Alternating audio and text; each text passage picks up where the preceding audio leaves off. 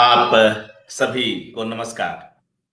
मित्रों, हम लोग इन दिनों अलका सराबगी जी पर यह संवाद कर रहे हैं, यह एकाग्र कर रहे हैं। आज इस एकाग्र की तीसरी कड़ी है और इसमें हमारे साथ कवि यतीश कुमार जी उपस्थित हैं। वे अलका जी के उपन्यासों पर बात करेंगे। और खास तौर से उपन्यास के साथ शहर का जो अंतर संबंध है, उस पर भी चर्चा होगी। अलका सराबगी जी का पहला उपन्यास कली कथा वाया बाईपास, या फिर बिल्कुल नवीनतम उपन्यास की भी हम बात करें, कुलभूषण का नाम दर्ज कीजिए। और इस बीच आए, उनके कुछ और जो उपन्यास हैं। इन सब में कलकत्ता, कोलकाता किस तरह उपस्थित है? उसकी कहानियाँ, उसके बाज़ार, उसके लोग, उन लोगों की आवारगी, पीढ़ियों की कहानी, विस्थापितों की कहानी, उन विस्थापितों की जिनके पूर्वज कहीं और से राजस्थान से, हरियाणा से, कहीं और से, कलकत्ता में, कोलकाता में जाकर बसे। या वे लोग जो कुछ बेहतर हो जाने की स्थिति में आर्थिक और शैक्षणिक दृष्टिकोण से तो उन पीढ़ियों से भी कई लोग भारत से बाहर गए, अमेरिका गए, यूरोप गए तो उन सब की कहानियाँ इनके अलग अलग उपन्यासों में हमें कहीं ना कहीं पढ़ने को मिलती है। जानकी दास तेजपाल मेंशन में भी हम इस बात को देखते हैं। तो कई तरह से इस विषय पर चर्चा हो सकती है। यतीश कुमार जी अपने तई इस विषय पर बात करेंगे।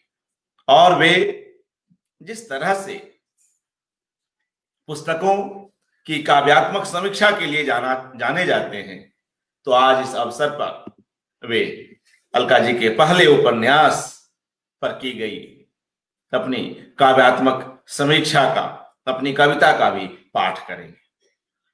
मगर मित्रों, उनको बुलाने से पूर्व आज हम लोग अशोक सिक्सरिया जी को याद करते हैं, उनकी स्मृति को नमन करते हैं। क्योंकि आज ही के दिन, वर्ष 2014 में उनका देहांत हुआ, कोलकाता में ही। हमने गत वर्ष ही उन पर एकाग्र भी किया था। और मुझे लगता है कि गत वर्ष भी क्यों कहें, इसी वर्ष जनवरी 22 में, इस वर्ष की शुरुआत में हमने उन पर एकाग्र किया था, जिनमें अशोक वाजपेयी जी, अरविंद मोहन जी, प्रयाग शुक्ल जी, सुधा अरोड़ा जी, अलका सराबगी जी, शर्मिला जालान संजय भारती और तमाम लोग उनसे जुड़े हुए, उनके निकट के लोग उसमें अपनी ओर से अपनी बात रखे थे, उन्हें याद किए थे। हम यह भी जानते हैं कि अलका सराबगी जी ने सामयिक वार्ता के उस अंक का संपादन किया, जो अशोक सिक्सरिया जी पर केंद्रित रहा। इसकी भी चर्चा कल शर्मिला जालान जी ने अपने वक्तव्य में की। जनवरी फरवरी 2015 का वह अंक सामयिक वार्ता का अशोक सिक्सरिया जी की स्मृति में निकाला गया, जिस पत्रिका के साथ वे शिद्दत के साथ, दीवानगी के साथ जुड़े रहे। अशोक सिक्सरिया एक असमग्र छवि में अलका जी ने कई कई तरीके से उन पर अपनी बात रखी है। एक छोटा सा हिस्सा मैं यहाँ पर प्रसंगवश रखना चाहता हूँ, क्योंकि अलका जी जिस तरह से अशोक सिक्सरिया जी को अपना गुरु मानती रही हैं, जिस तरह से उनके सानिध्य में उनके लेखक का पल्लवन हुआ है, और कई ऐसी बातें जो बेहद ज़रूरी होती हैं किसी लेखक के लिए तो उन सब की ऐसी कई यादें हैं जिन पर गाहे बगाहे अलका जी बात करती रही हैं। फ़िलहाल यह एकाग्र अलका जी पर है। तो एक छोटा सा हिस्सा उसी संपादकीय से यहाँ पर रखता हूँ और फिर हम यतीश कुमार जी को बुलाएँगे। अशोक सिकसरिया जी के बारे में अपने उस संपादकीय में अलका जी लिखती हैं। कोट, अशोक जी ने शब्द जीवी दुनिया में बहुत लोगों को बहुत कुछ बनाया। पर बनाने की जादुई कला उनके पास ऐसी थी कि न तो बनाने वाले को एहसास कि वह कुछ बन रहा है और न बनने वाले को कि कोई उसे गढ़ रहा है। आँख वाले को देखने की आँख क्या सहज ही दी जा सकती है? कोई देखता तो यही लगता कि वे शिष्य हैं और सामने वाला गुरु। और फिर वे इस अंक की बात करती हैं, सामयिक वार्ता के उस अंक की बात करती हैं कि किस तरह इस अंक की तैयारी की गई। और ऐसी कई चीज़ें यहाँ पर अलका जी खोलती चलती है क्रमशः। एक छोटा सा कुछ एक वाक्य और पढ़ते हुए हम यतीश जी के पास चलेंगे और उन्हें अलका जी पर सुनेंगे। अलका जी लिखती हैं अशोक सिकसरिया को लेकर कि साधारण से साधारण बात पर ऐसी बाल सुलभ उत्सुकता दिखाते जैसे खुद एकदम घोंगा बसंत हो। उनके सौजन्य और पर दुख कातरता की मिसालें आपको इस अंक में जहाँ तहां एक सूत्र की तरह मिलेंगी। और तमाम लोगों ने इस विशेषांक के लिए बड़े ही मनोयोग से अशोक जी पर लिखा। तो मित्रों, यह एक प्रसंग बस कुछ ऐसी बातें थी कि जिस ओर इशारा करना आवश्यक था। किस तरह से? अलका जी, अशोक सिकसरिया जी को याद करती हैं। तो आइए हम अब यतीश कुमार जी के पास चलते हैं और उन्हें स्क्रीन पर लाते हैं। यतीश जी, नमस्कार, हार्दिक स्वागत। अर्पण जी, नमस्कार, और जन सुलभ पुस्तकालय का आभार कि मुझे मौका दिया आपने अलका जी के इतने विस्तृत साहित्य के ऊपर थोड़ी सी बात रखने की जी, हमें अच्छा लग रहा है यतीश जी कि जिस तरह से आपने समय निकाला और इस संवाद के लिए यहाँ पर उपस्थित हुए। अच्छा लग रहा है और आपसे अनुरोध है कि अलका सराबगी जी पर और उनके रचना जगत पर अपनी बात रखें। किस तरह से और किस रूप में यह आप ही तय करें। यतीश कुमार जी, स्वागत। जी जी जी बहुत बहुत धन्यवाद अर्पण जी। आज का जो मेरा सत्र है, उसको मैं तीन हिस्से में विभाजित करूँगा। एक कोलकाता और अलका सरोगी। उसके बाद हम जो काव्यात्मक समीक्षा कह रहे हैं लोग, कविताई मैं कहता हूँ, वो कलिकथा वाया बाईपास के ऊपर जो मेरी लिखी हुई कविताएँ हैं, उस पे बात और पाठ दोनों करूँगा। उसके साथ साथ इसके साथ साथ मैं चलूँगा थोड़ा सा आगे कुलभूषण का नाम दर्ज कीजिए पे बातचीत रखूँगा। और साथ ही साथ, जो भी संस्मरणात्मक मेरे साथ उनके जो भी संस्मरण है, स्मरण है, उसको मैं साझा करता चलूँगा। तो आज दुर्लभ ऐसा दिन है कि अशोक सिकसरिया जी के बिना तो वैसे भी मैंने आज तक अलका जी को कोई भी इंटरव्यू देते नहीं देखा है। मैंने उनके लगभग सारे इंटरव्यू पढ़े हैं क्योंकि दो साल पहले मैंने उनका इंटरव्यू खुद लिया था आमने सामने में अलका जी का। तो उनको, उनके अशोक जी को स्मृति नमन करते हुए मैं आगे बढ़ूँगा। एक और शख्स है जिनका मैंने देखा है अलका जी को हमेशा याद करते हुए, वो है परमानंद श्रीवास्तव। और जैसा कि मुझे याद है कि अलका जी ने बताया था कि वो जो पांडुलिपि थी पहली वाली, जब कलकत्ता के कई लोगों ने उस पांडुलिपि को उतना नहीं सराहा तो उन्होंने परमानंद श्रीवास्तव जी को भेजा और परमानंद श्रीवास्तव ने बोला, इसको जस के तस, ऐसे ही छाप दो। तो ये दो शख्स का बहुत अहम रोल है अलका जी के काव्य और साहित्यिक जीवन में। तो इन दोनों को याद करते हुए हम आगे बढ़ते हैं कि अलका जी और कोलकाता एक दूसरे के पूरक रहे हैं। हालाँकि अलका जी का पूरा साहित्य जो है वो जगत जो है वो बितान जो है वो लंबे इतिहास को अपने साथ रखता है। लेकिन उनके पाँच सात जो उप, उपन्यास है सातों में सिर्फ़ इतिहास नहीं है। तो मैं एक एक करके आपको कोलकाता और उनके उनकी लेखनी को हल्का हल्का छूते हुए चलूँगा। जैसे पहली कहानी अगर मैं लूँ तो आपकी हँसी। आपकी हँसी कोलकाता के जो महाविशेषांक पत्रिका थी, उसमें रविंद्र कालिया जी ने छापा था। तो ये यहाँ से इनकी शुरुआत है। पहला उपन्यास अंठानवे में जो आया, कलिकता हमारे पास, जिसमें कि डेढ़ सौ साल का कलकत्ता का पूरा इतिहास है और विभिन्न पहलुओं जिसको मैं आगे विषय विस्तार से बताऊँगा। तो तीन जनरेशन की कहानी और कोलकाता। ये कलकत्ता की पूरी कथा है इसके अंदर। तो इसमें क्या आगे बताने का। शेष कादम्बरी शेष कादम्बरी में आप पाएँगे कि टैगोर की शव यात्रा का ज़िक्र है और रूबी उसके पीछे पीछे जब रो रही है, जबकि वो रो किसी और कारण से रही है तो हल्का हल्का हल्के हल्के पृष्ठभूमि है इसके अंदर कोलकाता का। इसके बाद और हम आगे बढ़ेंगे अगले उपन्यास में तो कोई बात नहीं। यहाँ एक समानता है कि कोई बात नहीं, विक्टोरिया, गंगा और बालमन, शशांक जो है, जो बच्चा है और सुचा बाबा।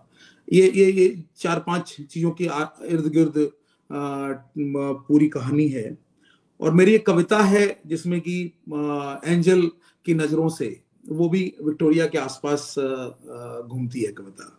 और मैंने देखा कि कोई बात नहीं का जो पहला पेज है, उस पे भी विक्टोरिया की छवि है और विक्टोरिया में एंजल की छवि है। तो मुझे बड़ा, बड़ी खुशी हुई कि मैंने जिस पे कविता लिखी, वहाँ पे अलका जी ने पूरी कहानी का केंद्र उस विक्टोरिया को रखा है। आगे हम बढ़ते हैं तो एक ब्रेक के बाद उनकी किताब है, कहानी उपन्यास है। उसमें वो कारपोरेट कल्चर जो कोलकाता का है उसको लेके आती हैं और वहाँ पे गुरुचरण दास है बॉस और भट्ट है उनका अधीनस्थ। तो बॉस और अधीनस्थ के बीच के रिश्ते कैसे होते हैं और बॉस को कैसे समझना चाहता है भट्ट? और जो व्यावसायिक वातावरण है कोलकाता का और मुनाफे की जो नई दुनिया रची जा रही है कोलकाता के अंदर, ये बिल्कुल अलग तरीके से अलका जी इसको लेके आती हैं। हालाँकि एक सच्ची झूठी गाथा जो उनकी, उनका उपन्यास है, उसमें जो दो किरदार हैं गाथा और प्रमित सान्याल। तो ये कलकत्ता से एयरपोर्ट सिलीगुड़ी है, लेकिन उसमें जो प्रमित है, उस, वो कई बार दो तीन जगह बताता है कि उसके पिता जो हैं वो बंगाली हैं और उनकी माता जो है वो जर्मन है।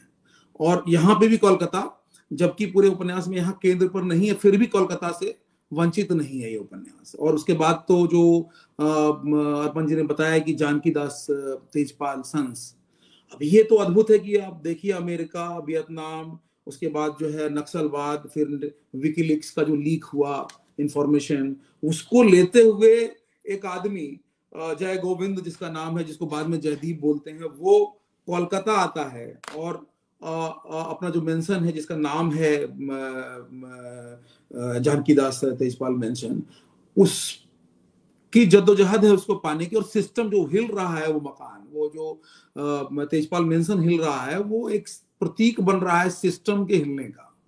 और कोलकाता के विभिन्न पहलू को यहाँ पे लेके आ रही है अलका सरोगी। और ये बहुत रोचक उपन्यास है। मैं इसमें ये देख रहा हूँ कि वो लेखिका ये देख पा रही है कि भविष्य में जब एक्चुअल में जब मेट्रो बनता है यहाँ पे और बड़ा बाज़ार और बाकी एरिया के पुराने मकान हिलते हैं और वहाँ विस्थापन आता है तो हमें ये प्रतीत होता है कि एक लेखिका भविष्य को कैसे देख सकती है, कोलकाता के भविष्य को खासकर कैसे देख सकती है। तो मैं देख रहा हूँ कि वो कलकत्ता को जीती हैं। यहीं पे उन्होंने पढ़ाई लिखाई की, यहीं उन्होंने जो है रघुवीर सहाय के कृतित्व पे अपना जो है, पीएचडी की उपाधि ली और पूरी पूरी जर्नी इनकी यहाँ रही है और वो कलकत्ता को आज तक नहीं छोड़ पा रही है और इवन आने वाला जो उपन्यास है गांधी और सरला देवी के केंद्र में को रखते, रखे हुए जो कहा जा रहा है, वो भी सरला देवी कोलकाता के केंद्र में ही है। जबकि वो लाहौर जाती हैं जबकि उपन्यास में जैसा मैंने बातचीत से सुना कि लाहौर का पूरा पूरा उनसे छूट गया है, उतना कवर नहीं कर पाई लेकिन कोलकाता को केंद्र में रखी है। यहाँ एक और समानता मुझे देखी कि सरला देवी के जो पिता है, उनका नाम भी जानकी दास है। और देखिए मुझे लगता कि जब जानकी दास तेजपाल मेंशन लिख रही होंगी, अलका जी, तब कभी सोची नहीं होगी सरला देवी पे चौधरी पे काम करेंगी और उनके पिता का नाम भी जानकी दास ही होगा। तो मिला जुला के मैं देख रहा हूँ कि सारे उपन्यास में सारी कहानियों में कोलकाता एक मुख्य किरदार रहा है। अगर हम किशोर बाबू को देखें तो वो पूरा मतलब गांधी का कैसा इन्फ्लुएंस रहा कोलकाता में सुभाष का इन्फ्लुएंस कैसा रहा और 1940 से उन्नीस तक कलकत्ता कैसे रहा और 1940 से पहले तीन पीढ़ी दो पीढ़ी तक का कलकत्ता कैसा रहा वो सब पे आ, वो छू रही हैं। एक और बहुत अद्भुत सा मैं दिख, मैं देख रहा था कि जैसे अमोलक और शांतनु दो किरदार हैं कलिकता के। तो अमोलक की जो मृत्यु दिखाई है उन्होंने, वो दिखाया है अयोध्या में 6 दिसंबर उन्नीस सौ बिरानवे को। जबकि अयोध्या का उतना ज़्यादा असर कोलकाता में नहीं रहा, लेकिन उन्होंने उस विषय को कोलकाता में रहते हुए छुआ। ये ये उनकी विशेषता है। और मारवाड़ी समुदाय और कोलकाता, ये दोनों को वो इस पूरे अपने लेखनी के यात्रा में, लिखने की यात्रा में पैरेलल रखते आई हैं। तो इसलिए मैंने सोचा कि इस पहलू को, अपने पाठकों को बताता चलूँ। इसके साथ साथ अब मैं थोड़ा सा संस्मरणात्मक चलूँगा कि मैं 2014 में मैं साहित्य में वापस आया और संयोग बस अशोक सक्सेरिया जी उस समय हमारे बीच से गुजर गए। जब मैं साहित्य में नहीं था और इस कारण मैं उनसे नहीं मिल पाया, इस बात का मुझे बहुत बहुत अफसोस रहेगा ताउम्र। क्योंकि अलका जी से जब भी मैं बात करता हूँ, मैं उनके बारे में, उनके माध्यम से हमेशा जानने की बहुत कोशिश करता हूँ। वो वो एक अद्भुत शिष्या हैं और वो अपने गुरु को बिना याद किए मैंने नहीं देखा कोई भी सेशन उनका पूरा होते हुए। जब कली कथा वो लिखी थी तो वो कभी अपना अपनी खुशी उन्होंने नहीं दिखाई कि हाँ का तुमने बहुत अच्छा काम किया है और वो आ, मतलब उस जिरह होता रहा पुरस्कार से वंचित रहने के लिए उन्होंने हमेशा उनको बोला। बहुत सारी बातें हैं। मैं आ, जब 2016 के एक फ़ंक्शन में अलका जी आई थी हमारे नीलाम्बर के कार्यक्रम में तो मैं आ, तब तक अलका जी को उतना पढ़ नहीं पाया था। तो मेरी हिम्मत नहीं हो रही थी उनके पास जाने की अलका जी को मैं कैसे बताऊँ कि मैं अब थोड़ा सा इस ओर मुखर हो गया हूँ, इधर इधर थोड़ा सा आ गया हूँ साहित्य में, पढ़ रहा हूँ, लेकिन मैं आपको अभी तक नहीं पढ़ पाया। तो मैं चुपचाप उनको ऑब्ज़र्व करता रहा। एक सांस कविता की कार्यक्रम था, मुझे याद है, और अरुण कमल आए थे, और उसमें थोड़ी देर के लिए मैम आई थी। तो मुझे बड़ा मतलब मुझे झिझक हुई। फिर मैं ने कहा, नहीं, मुझे मैम से बहुत कुछ समझना है। कैलकाटा में वो एक स्तंभ है, एक बिल्कुल साहित्य के आधार हैं हम लोगों के लिए, हम नए लोगों के लिए।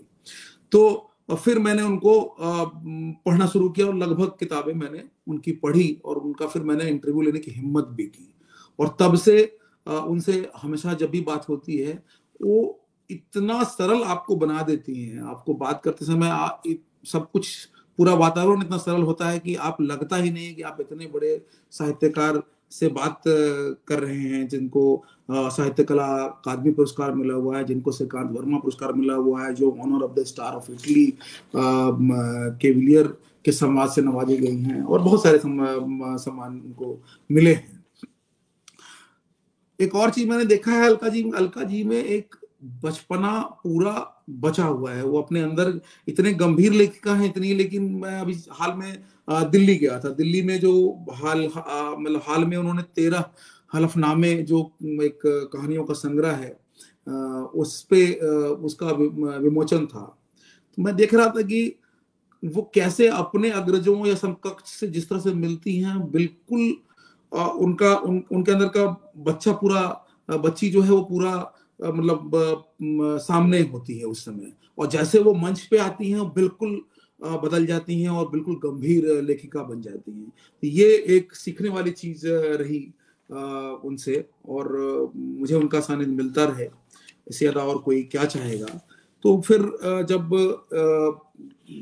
काली कथा वाया बाईपास पढ़ा मैंने तो ऐसा कम होता है कि कोई किताब आपको इतना आकर्षित करे कि आप कविताई पे उतर आए।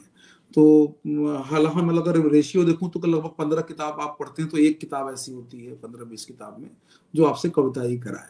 तो मैं पाठ करूँगा और आशा है कि आपको पाठ के दौरान आपने अगर ये किताब पढ़ी होगी तो आपको हल्के हल्के हल्के वो फुहार का अनुभव होगा उस कहानी, उस उपन्यास के अंश का।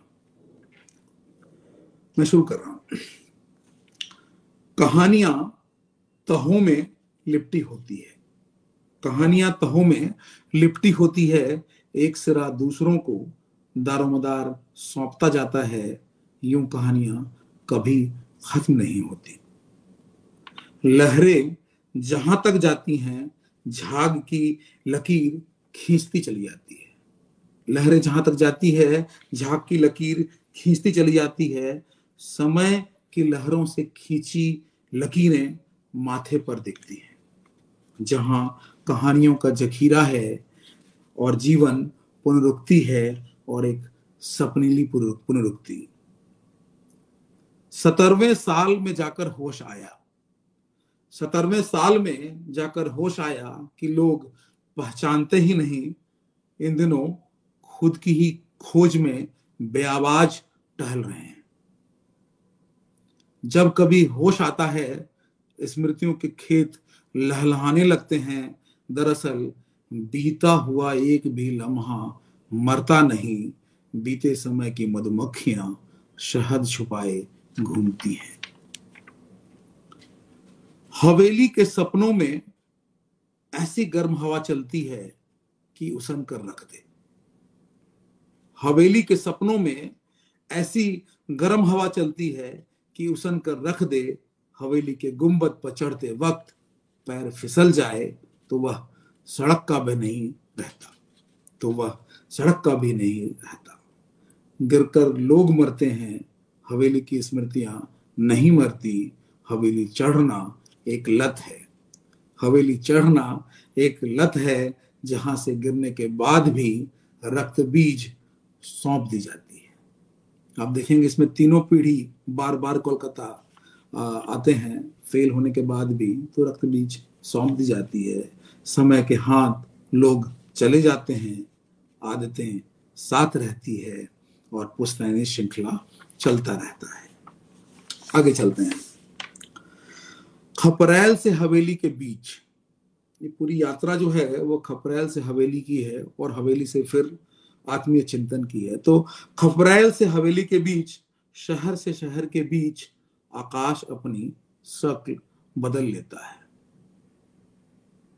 खपरेल से हवेली के बीच, शहर से शहर के बीच, आकाश अपनी शक्ल बदल लेता है। मिट्टी की तासीर, हवा की महक शहर का एहसास बदल देती है। शहर कोई हो, शहर कोई हो, रुक कर छू लो तो अपना हो जाता है। निर्वासन में आसन लग जाए तो वह वास में बदल जाता है। आप किसी भी शहर को अपना बना लीजिए, वो आपका अपना घर है। बिना कमाए घर लौटना, ये इसके लिए किशोर जी के पिताजी के ऊपर है कि बिना कमाए घर लौटना निर्वसन वापसी है। वो गंगा को अपना लेते हैं, पर खाली हाथ नहीं लौटते।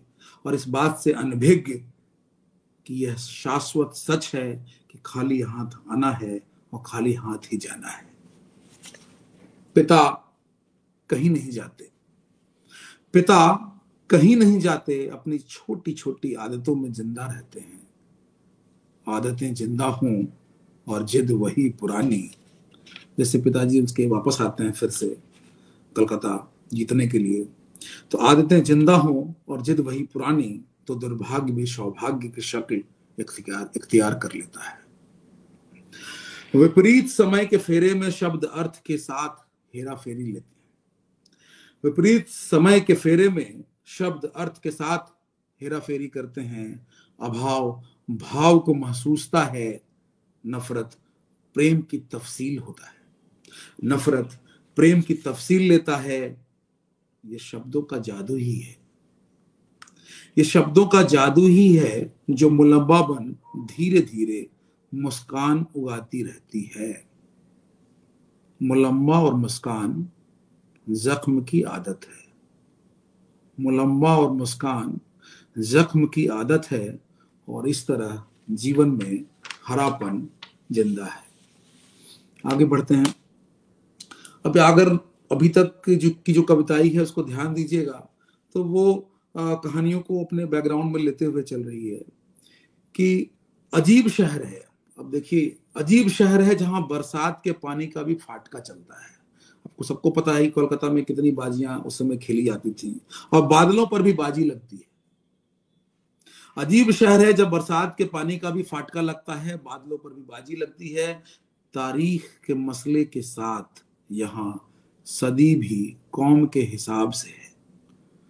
अब देखिए, दो लाइन वहीं से निकली है, उनकी किताब से निकली है। डेढ़ सौ साल में जितने भी रेफरेंसेस हैं, वो कौम के हिसाब से हैं डेट्स के साथ। तारीख के तारीख के मसले के साथ यहाँ सदी भी कौम के हिसाब से है, तारीखी गलतियाँ धर्म पर हमेशा भारी पड़ती है।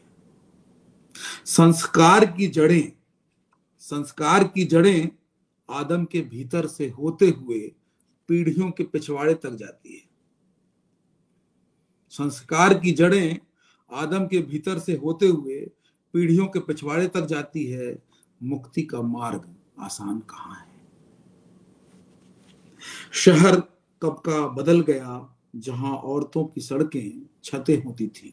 इस किताब में बखूबी लिखा गया है कि कैसे चीनी लाने के लिए, घी लाने के लिए स्त्रियाँ छत से छत चली आती थी।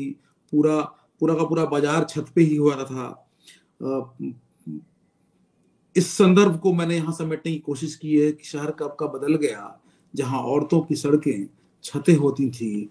अब छतों को भी पाट दिया गया है और सड़कें भी दरवाजे के साथ बंद हैं।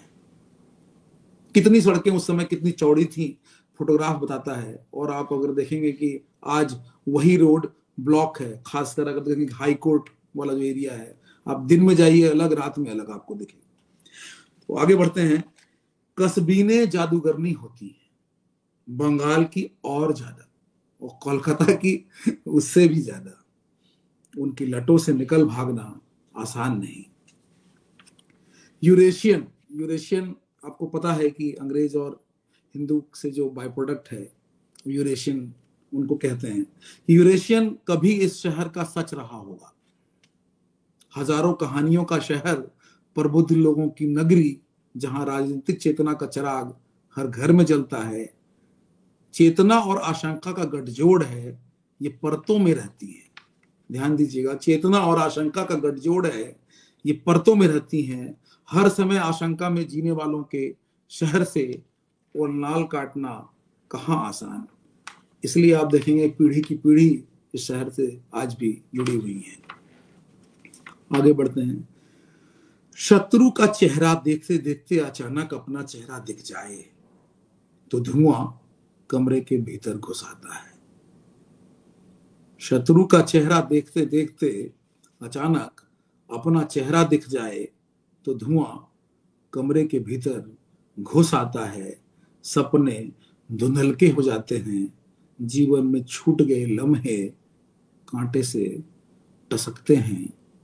हॉल उठता तो आंगी तक भीग जाता है। सत्य इतना करीब होता है। सत्य इतना करीब होता है कि नज़र नहीं आता, आँखें बस डबडबा जाती है। जो कभी पुरानी चीज़ों को नए में बदलने का हुनर रखता रहा, वही अब स्मृतियों के बक्से से, वही अब स्मृतियों के बक्से में खुद कैद हो हो जाना चाहता है। ये संदर्भ आपको बखूबी याद आएगा कि किशोर बाबू कैसे अपने स्मृतियों में वापस आते हैं और जो पूरा उपन्यास का कथन है, जो तरीका है कथ्य है, वो स्मृतियों से होकर के बार बार गुजरता है। दिखावे के रास्ते पर मति भ्रम भी बाट जोते रहते हैं। अभिमान चश्मे में फिट बैठता है। अब जख्म नहीं, दुनिया हरी दिखती है। दिखावे के रास्ते पर मति भ्रम भी बाट जोते रहते हैं। अभिमान चश्मे में फिट बैठता है। और अब जख्म नहीं, दुनिया हरी दिखती है। अलका जी, आपको नमस्कार। आप सुन रही हैं मेरा अभाग्य है। आदमी अपने अंत के पहले ज्योतिष बन जाता है। इसका बहुत अच्छा संदर्भ अलका जी लिखती हैं इस उपन्यास में। आदमी अपने अंत के पहले ज्योतिष बन जाता है, सबके भविष्य में झांकने लगता है, सबकी चिंता उसके अंत को खिसकाने लगती है। और इस, ये उपन्यास का बहुत अहम हिस्सा है। सबकी चिंता उसके अंत को खिसकाने लगती है। मैं आगे बढ़ता हूँ। कि नदी को याद करता हूँ, हर हर गंगे की आवाज़ आती है। नदी को याद करता हूँ, हर हर गंगे की आवाज़ आती है।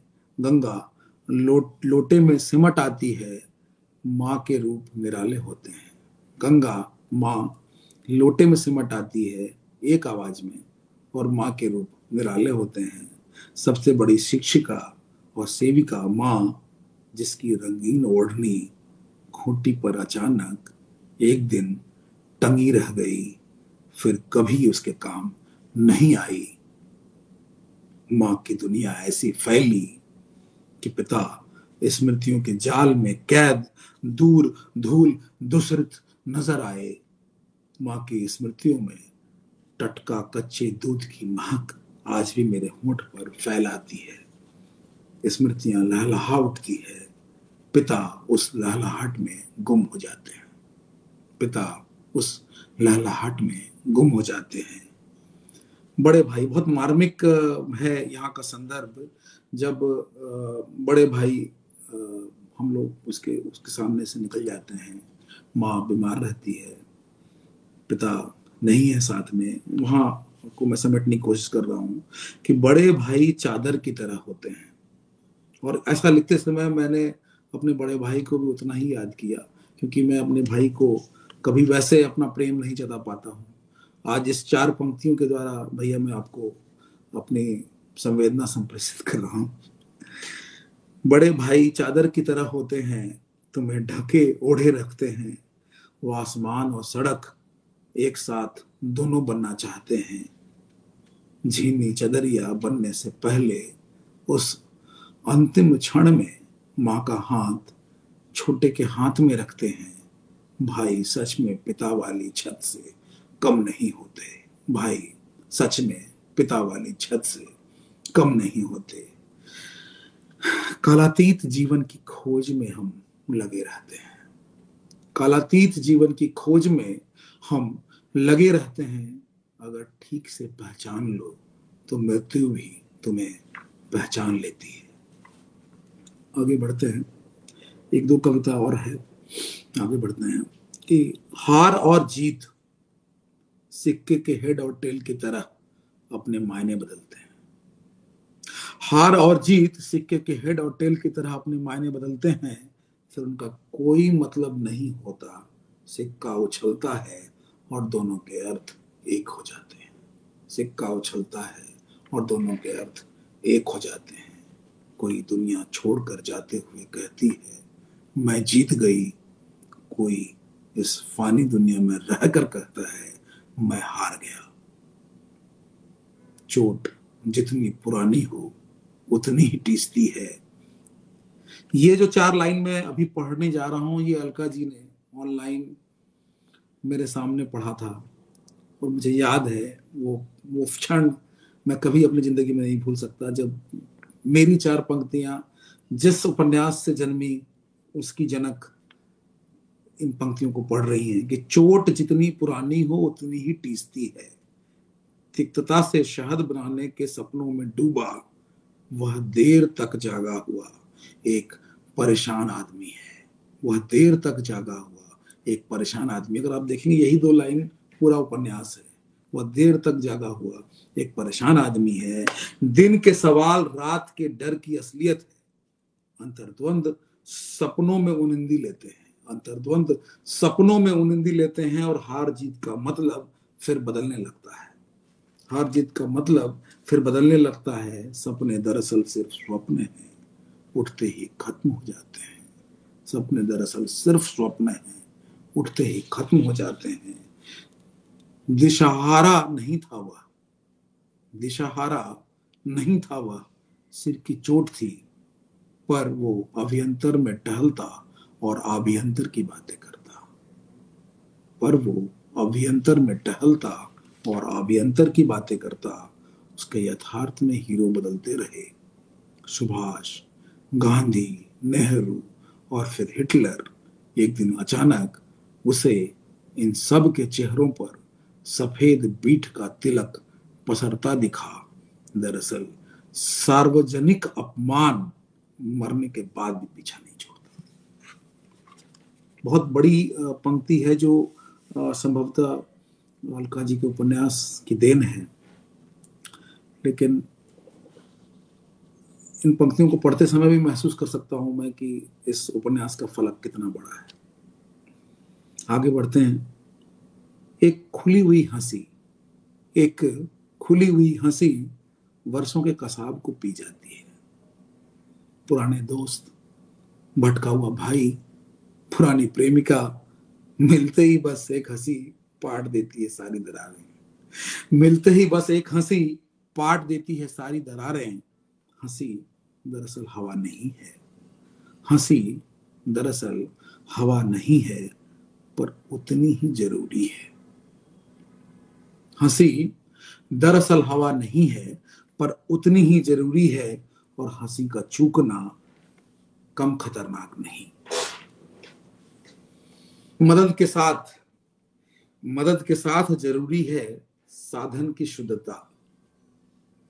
वृक्षों के साए अदृश्य होने से पहले बहुत लंबे होते जाते हैं। वृक्षों के साए अदृश्य होने से पहले बहुत लंबे होते जाते हैं और हर शख्स के भीतर शून्यता अपने दायरे के साथ उपस्थित है। इसका घटना और बढ़ना एक साधारण आदमी की कथा है और यही पूरा जो उपन्यास है, इसका सार है। आगे बढ़ते हैं।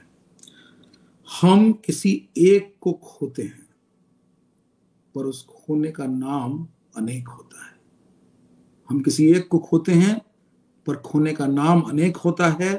एक मुर्दे को निकलते देखो, एक मुर्दे को निकलते देखो तो गौर से देखो। एक मुर्दे को निकलते देखो तो गौर से देखो, यह अर्थ ही तुम्हारी, हमारी भी है। एक दिन देखने के लिए दूर खड़े ना बचोगे। एक दिन देखने के लिए दूर खड़े ना बचोगे। हर एक अर्थी के साथ थोड़ा सा मैं भी मर जाता हूँ। मरना कुछ इस तरह है जैसे किसी ने बस म्यूट कर दिया है। मरना कुछ इस तरह है जैसे किसी ने बस म्यूट कर दिया है। मुक्ति भी टुकड़ों में मिलती है। मुक्ति भी टुकड़ों में मिलती है। डर और लज्जा से मुक्ति मिल जाए तो लोग पागल करार देते हैं। आपको याद होगा कि किशोर बाबू को पागल कैसे लोग कहते हैं तो उसको आप यहाँ पाएँगे कि मुक्ति भी टुकड़ों में मिलती है। डर और लज्जा से मुक्ति मिल जाए तो लोग पागल करार देते हैं। जान गया कि जीवन में अपवाद, जान गया कि जीवन में अपवाद, तिक्तता का और समय घुल जाना है। अपवाद, तिक्तता का और समय घुल जाना है। इस देश की समस्या भी अजीब है। ना त्यागना। घर में कबाड़, शहर में कबाड़ और मन में भी। सत्य भीतर है, रूप में नहीं, सदियों ने रूप को स्वीकारा और खोजते रहे कि सत्य ना जाने किस रूप में मिल जाए।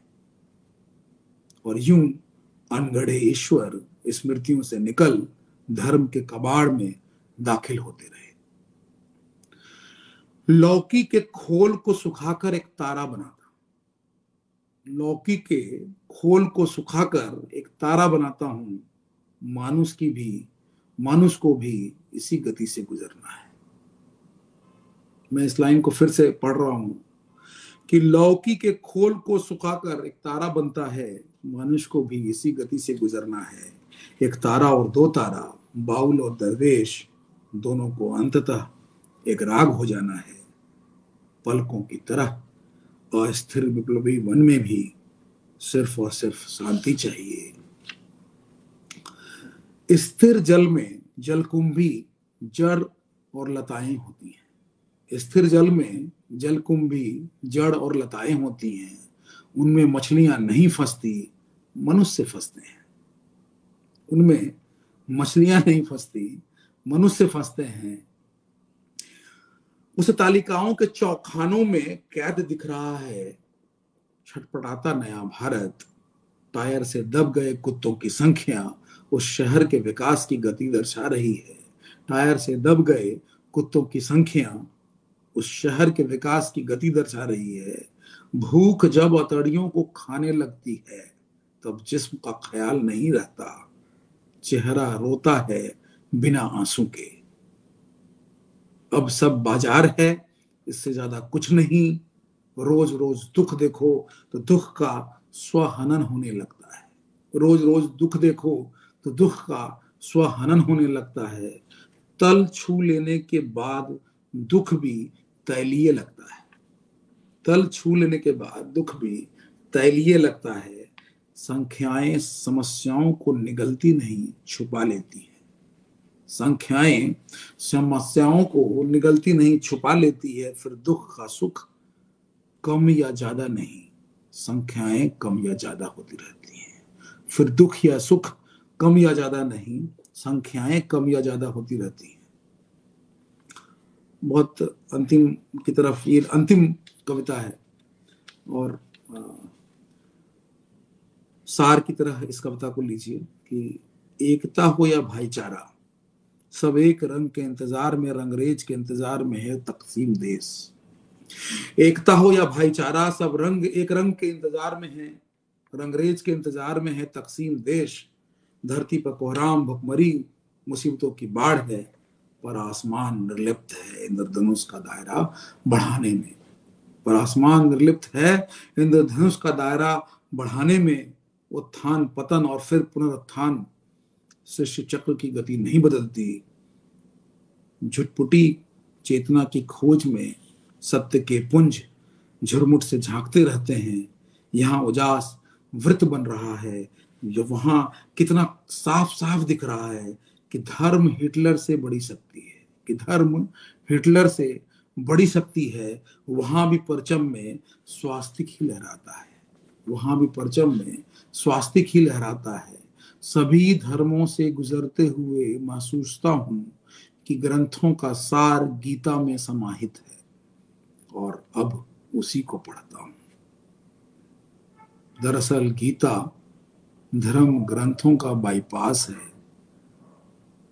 ज़िंदगी को देखने की नज़र अता करती बाईपास जब सारे रास्ते जाम हो जाते हैं, तब बाईपास ही एकमात्र समाधान है।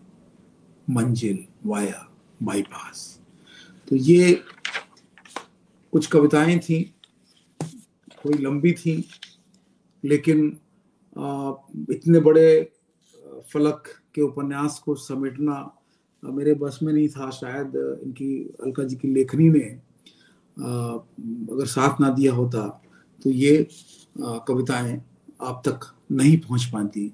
और मैं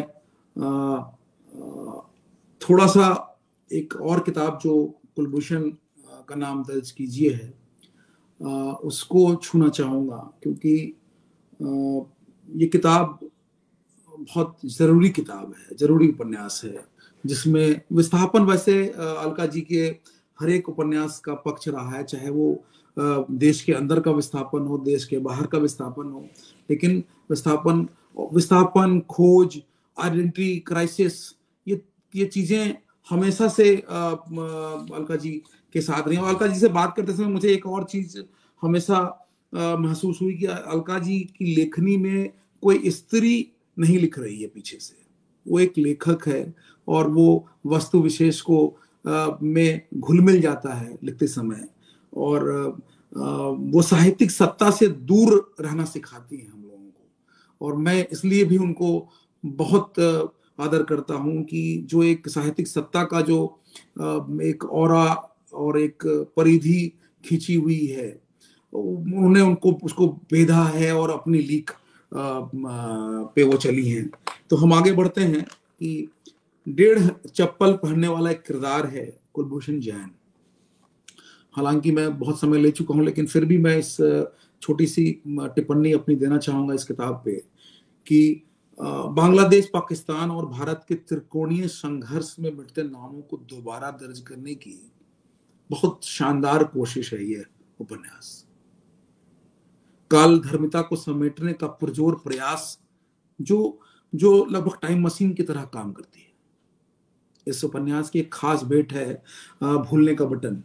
जहाँ तक मुझे याद है कि श्यामा को किसी बा, बाबा ने बताया था कि ये बटन ऐसा है कि तुम भूल जाओ तो तुम्हें कोई दर्द नहीं महसूस होगा। ये ये निर्वाण के रास्ते के पहले का, की प्राप्ति होती है नॉर्मली बट यहाँ पे कुलभूषण को ये प्राप्त हो गया श्यामा के द्वारा। तो उपन्यास एक खास भेंट है भूलने का बटन, जो दर्शन का एक अलग पहलू लिए है। यह एक अचूक दवा की तरह रचा गया है, जो विरले लोगों के नसीब में होता है। कुल को मिटा करके यहाँ पे एक संत के मनोभाव से चल रहा है कुलभूषण और अब वो भूषण बना फिर रहा है। यहाँ पे इस किताब में प्यार जो है वो चमड़े के रंग से निर्धारित नहीं होता।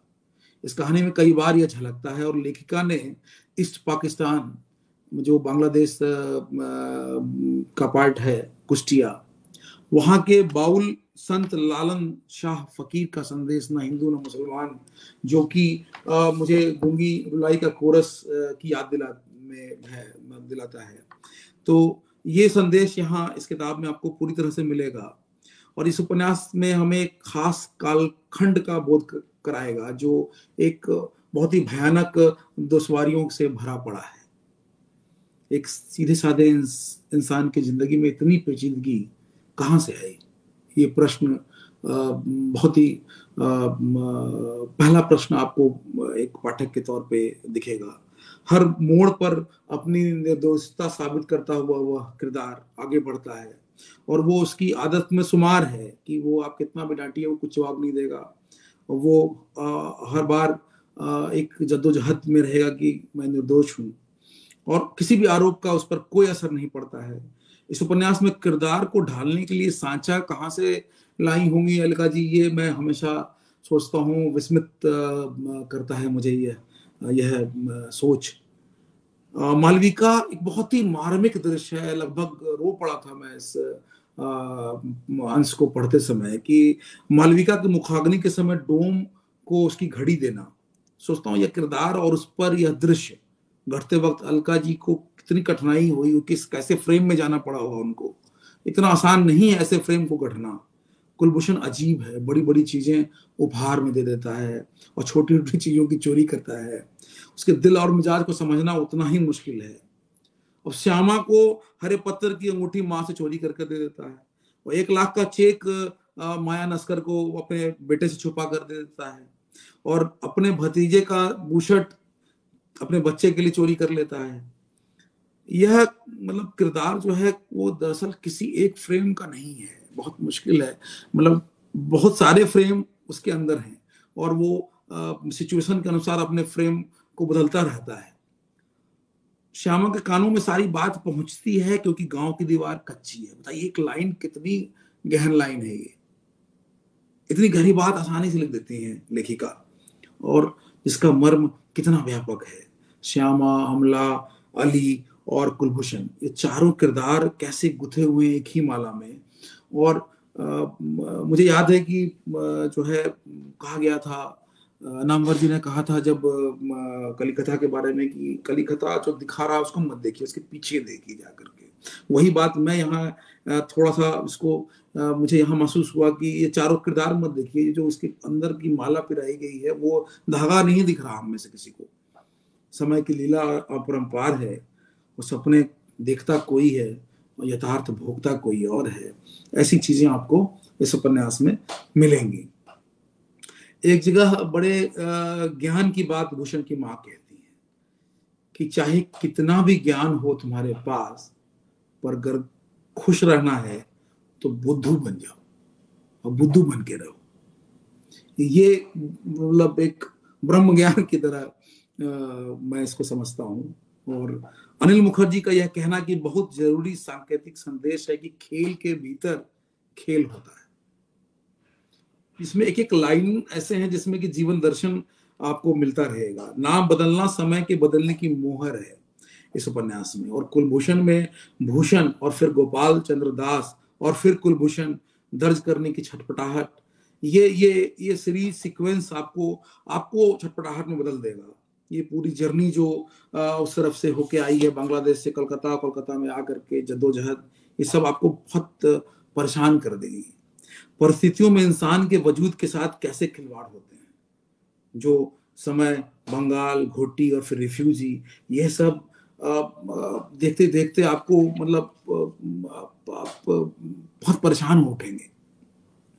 इस उपन्यास में जातिवाद की बारीकियों पर भी प्रकाश डाला जैसे कि तांती, धोबी और जुलाहे, ये तीन शब्द बहुत आसपास के शब्द हैं, लेकिन उसमें बहुत ज़्यादा अंतर है। इस उपन्यास को पढ़ते समय मैं जान पाया, इसकी बारीकी को समझ पाया कि कौन, कोई जो है पवित्र सूत काटता है और कोई घरों में कपड़े धोता है। सब अलग अलग नज़र के सांचे के लोग हैं। मल्ली का नामकरण भी देखिए कितना सुंदर तरीके से हुआ। इसमें प्रेम संदेश छुपा हुआ है, जो मैं गुंगी रुलाई का कोरस की बात कर रहा था, वो चीज़ मुझे यहाँ पे दिखी कि मल्ली का नामकरण में अमला और अली। मल्ली। कितना सुंदर प्रयोग है यहाँ पे, और हिंदू, मुस्लिम एकता, अखंडता को प्रस्तुत करता है यहाँ पे। और मोहम्मद इस्लाम एक कठिन परीक्षा का नाम है। आप इस करेक्टर को बाद में देखेंगे कि जो अंततः अव्वल दर्जे से पास होता है, और मानवता की विजय होती है, जातीयता सिर झुकाती है। ये उपन्यास, ऐसे उपन्यास जो आपको संदेश दें, जीवन संदेश दें, और आप उसको लेके चलें तो इससे अच्छा अच्छी बात क्या हो सकती है? थोड़ा सा मैं अंत की ओर जा रहा हूँ कि इस उपन्यास में ना सिर्फ़ मिल मजदूरों और गरीब तबके की स्थिति को चित्रित किया गया है, बल्कि मिल मालिकों और मिल की बदलती परिस्थितियों को भी बखूबी लिखा गया है, वर्णन किया गया है। बदलता समाज, जाति के, जातीय समीकरण, कानूनी बदलाव पूरे परिवेश के घटित घटनाओं का समीकरण चित्रित विश्लेषण ये ये दस्तावेज़ दस्तावेज़ है उस समय का पूरा पूरा ये जो चालीस साल के समय का पूरा ये दस्तावेज़ है। उपन्यास को बिल्कुल मतलब मैं मुझे याद है मैंने इसको बहुत ठहर के पिया मतलब बहुत पढ़ा। आ, मैं इसको इस तरह से कहना चाहूँगा कि इस उपन्यास को बिल्कुल गर्म दूध की तरह फूक फूक कर पीना होगा नहीं तो मर्म हाथ नहीं आएगा और जीव जल जाएगा आपका। समय चक्र में इतनी तेज़ी से बदलाव वर्णित है कि इसको आप अगर समझ समझ के नहीं पढ़ेंगे तो आप वो लिंक मिस कर जाएँगे। और बार बार आपको रिवाइंड करना पड़ेगा बार बार फॉरवर्ड करना पड़ेगा। मैं जो अभी कहने जा रहा हूँ, बहुत गूढ़ बात है इस उपन्यास की। समय जैसे जैसे बंद, समय जैसे बंद नल से टप टप बहता है, और फिर अचानक जैसे लगता है कि पाइप फट गया। ये ये कुलभूषण की मुंगोली बेटी का जाना कुछ ऐसी घटना है कि जैसे कथा चल रही है हल्के हल्के एक एक आप आप आप चोटिल हो चुके हैं पढ़ते पढ़ते इस इस जगह आकर के आप रो देंगे। अंत में निर्वासन एक मार्मिक गीत है। यहाँ रिफ्यूजी टिड्डियों की जमात है, जो स्मृतियों के तोते बनकर उड़ती रहती हैं। मार्मिकता के इंतहा इतनी है। कि अनिल दा की ज़िंदगी, श्यामा, मल्ली, अमला, तीनों का किरदार उतना ही यादगार है, जो अपनी अपनी जगह अपना अपना धर्म निभाते चलते हैं। और कुलभूषण से बड़ा पक्ष मुझे लगता है ऐसा, मैं गलत भी हो सकता हूँ, कि कुलभूषण से बड़ा पक्ष श्यामा का है और एक पंक्ति पर देर तक रुका रहा। और यहीं पे मैं रुक जाऊँगा इस लाइन के बाद, इसलिए इसको मैं इस तरह से ही कहना चाहता हूँ कि एक पंक्ति पर देर तक रुका रहा जहाँ लिखा था कि सारी लड़ाइयाँ देह पर ही लड़ी जाती हैं। और तब से समय के इस अंश में मैं अब तक टिका हुआ हूँ। और अलका जी की लेखनी ऐसे ही प्रेरित करती रहे। और अगला उपन्यास जो उनका आने वाला है, उसका बेहद इंतज़ार है। और बहुत सारी शुभकामनाएँ मैम आप लोग मुझ जैसे नए लेखकों को कुछ बोलने का मौका दे रहे हैं इस बात के लिए। बहुत बहुत धन्यवाद। अर्पण जी। जी। शुक्रिया यतीश जी। इस बेहद भाव प्रवण और सूक्ष्म विवेचन के लिए और बड़े ही बार, बड़ी ही बारीकी में जाकर आपने अलका सराबी जी के इन उपन्यासों पर चर्चा की और जिस तरह से एक कृतियाँ या इन कृतियों के किरदार एक कवि के भीतर अपनी जगह बनाते हैं और उसे आलोड़ित करते हैं, उसे इस तरह से प्रेरित करते हैं कि वह कुछ लिखने को विवश हो जाए। तो यह रचनाओं की जो आपसदारी है, साझेदारी है, जुगलबंदी है, यह भी बहुत खूब है। तो एक बार पुनः आपका धन्यवाद इस बेहद सार्थक वक्तव्य के लिए, हस्तक्षेप के लिए। और आपने उचित ही परमानंद श्रीवास्तव जी की बात की, उनकी याद दिलाई, और संयोग देखिए कि मैं भी इन दिनों गोरखपुर में ही हूँ। वही गोरखपुर जो परमानंद श्रीवास्तव जी का। जी जी। और इसके लिए जी ने वो पांडुलिपि वहाँ भेजी थी गोरखपुर। हाँ जी जी बिल्कुल। तो परमानंद श्रीवास्तव जी की तो आपने बात की ही और काली कथा की भी बात की। कहानियों को भी वे लगातार पढ़ते रहे उनके ए, उनकी दूसरी कृतियों पर चर्चा कर, करते रहे परमानंद श्रीवास्तव। और दूसरी कहानी जो अलका सराबगी जी का दूसरा कहानी संग्रह है उसकी उस पर ब्लड भी लिखा, उस पर अपनी टिप्पणी भी की। एक और किताब है, परमानंद श्रीवास्तव जी की, अतल का अंतरीप। बेहद महत्वपूर्ण आलोचकीय पुस्तक परमानंद श्रीवास्तव जी का। तो उसमें भी वे कई ऐसी बातें लिखते हैं। अतल का अंतरीप में कई कई आलेख हैं। तो एक आलेख है जिसका शीर्षक है। देखिए, मैं बोल रहा हूँ, एक मिनट समय दीजिए। जिसका शीर्षक है, कथा का पुनर्जन्म। इसमें वे कई कहानीकारों पर बात करते हैं। और बहुत अच्छी टिप्पणी वहाँ पे मुझे मिलती है। मुझे लगता है कि उस उन पंक्तियों को यहाँ पर रखा जाए। वे लिखते हैं, परमानंद श्रीवास्तव लिखते हैं कि कहानी, सूचना भी हो सकती है। कहानी सूचना भी हो सकती है, समाचार भी, पर उससे अधिक भी। इसीलिए विपर्यास विखंड उसकी शर्त है। अलका सराबगी दूसरी कहानी लिखती है। एक कहानी लिखी जाकर दूसरी हो जाती है। एक कहानी लिखी जाकर दूसरी हो जाती है। क्षमा करो हे वत्स देवेंद्र का ढंग। और है। गीतांजलि श्री जिसे नामालूम सा स्फुरन कहती हैं वही है कथा का नया जन्म। एक त्रासद संगीत एक त्रासद संगीत कई बार कथा के कायांतरण में सहायक है। मैं और, एक जी हाँ आप कुछ मैं एक और हाँ मैं ये कह रहा था कि परंपरा की दूसरी खोज हम लोगों ने इस बार का थीम रखा था नीलांबर का। और मुझे लगता है कि परंपरा की दूसरी खोज का मतलब इससे सुंदर उदाहरण अलका सरोगी सुंदर उदाहरण मुझे नहीं दिख रहा है।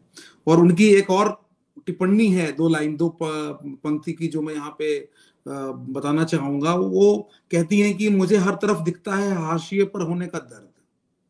और आप देखेंगे उनके सारे उपन्यास में वो सारे किरदार जो हाशिए पे हैं, वो हैं, चाहे आने वाला उपन्यास भी।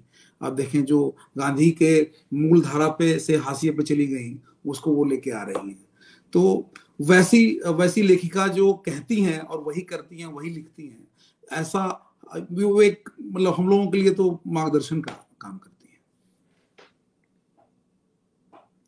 है। म्यूट है अर्पण जी म्यूट हैं आप?